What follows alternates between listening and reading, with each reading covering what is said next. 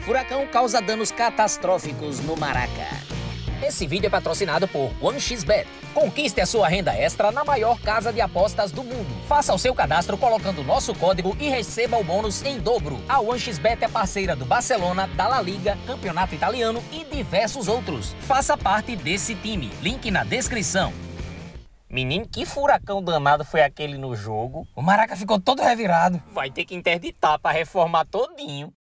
Quente que só a gota foi a temperatura do jogo logo no início com esse pênalti de Felipe Luiz em Kaiser. Ainda existe Kaiser? Não sei, João, eu não bebo, só fumo. Ê, galego de água doce, que lezeira que tu fez. Nicão foi pra bola e não perdoa. El início de la pea.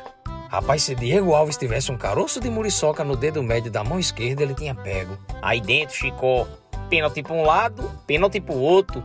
Juizão disse que teve empurrão. Esse bicho tá doido, tá vendo coisa demais. O VAR cancelou. Patati Patamar quase faz de voleio. Mas quando a fase é ruim, não tem jeito. Contra-ataque do Furacão, Kaiser manda panicão que ajeitou de sola e pipocou em cima de Diego Alves, mãos de manteiga. Ei, Laia, ele foi tão firme que nem prego em areia. Vixe Maria, João, segura o homem. Pega, pega. Mas foi uma jogada retada. Mas Santos como um bode... Esse goleiro tava frechado demais, homem. O Urubu continuava perdendo o gol em banda de lata. Aí um infiteto que tinha acabado de entrar deu essa entrada no menino que quase arranca o joelho.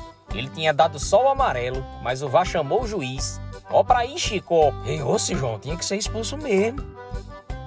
E como diz aquele caba mago fake só a gota chamado Cremosinho, time que não faz, leva a pé. Time que não faz, Leva a pé! Pedro Rocha se desembestou e mandou para Zé Ivaldo aumentar a chibatada 3 a 0 É, parece que virou moda mesmo o urubu levar cipuada. Quero só ver o que Renatão vai dizer desse vexame.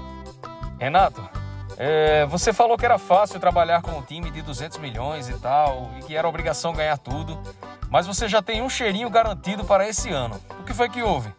É, quando você começa a apanhar, o time todo fica desgastado é, o Gabriel veio de uma noite de pôquer.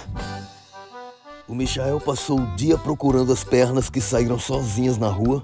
E o Patamac veio de um show com seu amigo Patati. Deixe o like nesse vídeo e se inscreva no canal do Telegram para você baixar todos os vídeos e compartilhar com a galera. Link na descrição.